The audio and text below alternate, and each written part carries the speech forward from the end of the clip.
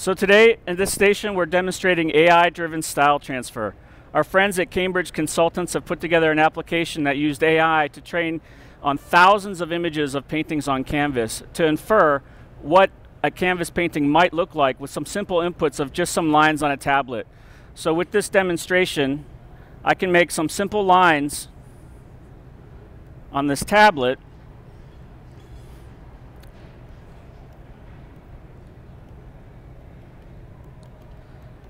and let the AI think about that for a minute and determine what that might look like if I was actually painting on canvas.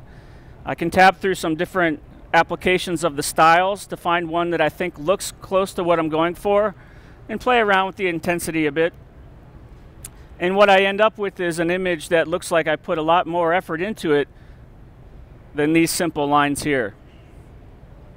That's AI-driven style transfer.